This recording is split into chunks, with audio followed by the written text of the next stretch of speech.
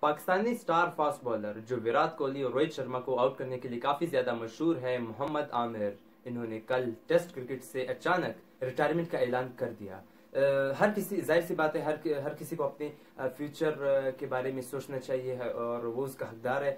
کسی بھی ٹائم کوئی بھی ڈیسیجن کر سکتا ہے، مگر اگر ماضی پر ہم تھوڑا سا تھوڑا سا نظر دہرائے جس طرح کی سچویشن سے پی سی بی نے ان کو نکالا اسپاٹ فکسنگ کے بعد واپس پاکستان ٹیم میں لانا، ان کے اوپر اتنا انویسٹ کرنا اور اس سٹیج کے لیے تیار کرنا جب پاکستان کو شاید محمد عامر کی کافی ضرورت پڑنی تھی۔ ٹیسٹ چیمپئن شپ ہونے جا رہا ہے کچھ مہینوں کے بعد۔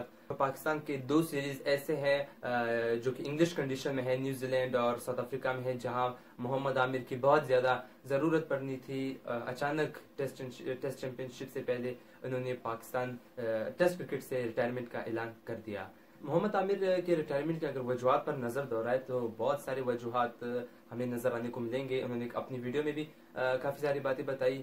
مگر ایک ظاہر سی بات ہے، جہاں پر بھی ایک پلیئر فیمس ہو وہ کوشش کرتا ہے کہ وہ لانگر فارمیٹ سے اپنے آپ کو بچا کر رکھے۔ شارٹر فارمیٹ میں، جہاں پر ظاہر سی بات ہے، پیسے بھی کافی زیادہ ملتے ہیں۔ تو محمد عامر بھی ان میں سے ایک ہے۔ انہوں نے ٹیسٹ کرکٹ سے زیادہ ٹی ٹوینٹی اور ون ڈے کو پریفر کیا ہے اور وہ پاکستان کے لیے ون ڈے اور ٹی ٹوینٹی کھیلتے رہیں گے۔ کافی سارے لوگوں کا یہ بھی کہنا ہے کہ محمد عامر برطانوی شہریت حاصل کرنے کے لیے بھی درخواست جمع کی انہوں نے جو کہ ابھی تک کوئی آفیشل کنفرمیشن آئی نہیں ہے۔ ہو سکتا ہے یہ بھی ایک ریزن ہو کہ وہ کسی دوسرے ملک کے لیے کھیلنا چاہے۔ فیوچر میں۔ اس کے علاوہ اگر پاکستانی فاسٹ بالر پر نظر دہرائے تو پاکستان کے لیے فاسٹ بالرز کی کمی کبھی آئی نہیں ہے۔ اور بینچ پر اگر دیکھا جائے تو ہمارے پاس بہت سارے آپشن موجود ہے محمد عباس جو پاکستان ٹیم کا حصہ ہے، ان کے علاوہ محمد عرفان، سہیل خان راحت علی جو کہ ماضی میں پاکستان ٹیسٹ کرکٹ ٹیم کا حصہ رہ چکے ہیں۔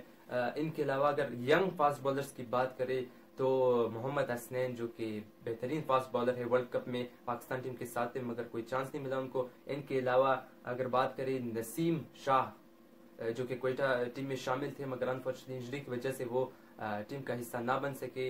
ان کے علاوہ اسلام آباد یونائٹیڈ کا ایک بہترین ینگ فاسٹ بالر محمد مسا جنہوں نے کافی اچھی پیس اور کوالٹی کے ساتھ بالنگ کی پی ایس ایل فور میں، وہ بھی فیوچر میں پاکستان سٹار بن سکتا ہے۔ ان کے علاوہ رومن رئیس جو کہ پی ایس ایل تھری کے بعد انجری کے باعث وہ اور آگے نہ کھیل سکے۔